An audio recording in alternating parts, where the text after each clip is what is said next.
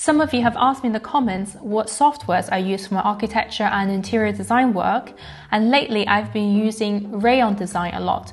Rayon Design has a really sleek, clutter-free, clean interface which doesn't really require you to have a super powerful computer or a long installation process. You can work online from your browser anywhere, and you can create a whole range of drawings. So whether I'm doing quick feasibility studies or construction drawings, I can control the level of detail really easily. And if one day I stop being such a loner and actually get some colleagues to like share the workload, I can also invite them to work on the same canvas.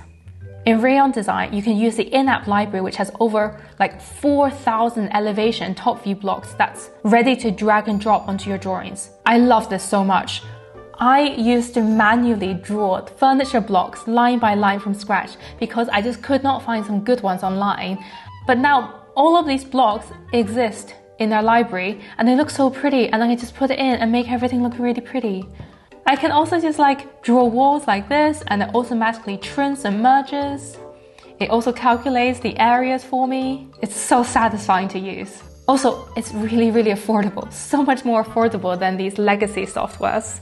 So you can try it out for free. The link is in my description and um, yeah, hope you have fun.